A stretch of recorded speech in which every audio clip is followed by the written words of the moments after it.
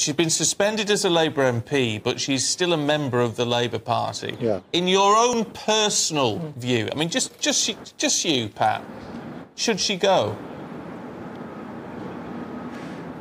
Honestly, it's not a decision for me who's a member Well, or who's a well, know asking it's that. not. I'm is decided yeah, by the chief whip and the leader.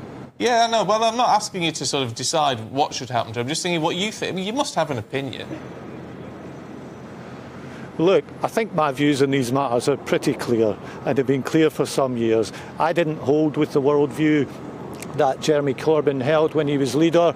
Uh, I lost my frontbench job over that. I called it out quite clearly when I was a backbench Labour MP. I'm pleased with the position that we are in uh, today on worldview, for example, on Russia and Ukraine, where uh, Keir Starmer's made clear we support Ukraine, we support our fellow democracies, we stand behind NATO. We remember where uh, the party that founded NATO, the post war Labour government headed by Clement Attlee, that's the Labour tradition I represent. Yeah. That's my views.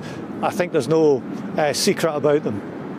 Right, so you won't explicitly say then that you think she should be booted out, but we can read between the lines, and I guess we can also then safely assume you won't be persuaded by arguments that will be made from within your own party that, hang on a minute, she's done a huge amount for race relations, not only um, as the first uh, female black MP, I think, but also she's been a long serving uh, Labour MP who has worked hard on race issues, but that doesn't go far enough for you.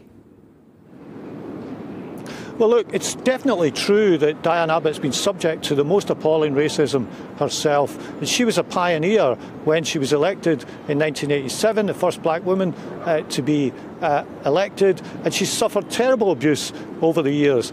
But I still believe there isn't a hierarchy of victimhood when it comes to racism. And what we've all got to strive for is a society where no one is discriminated against on grounds of race or creed. Now, we're not there yet.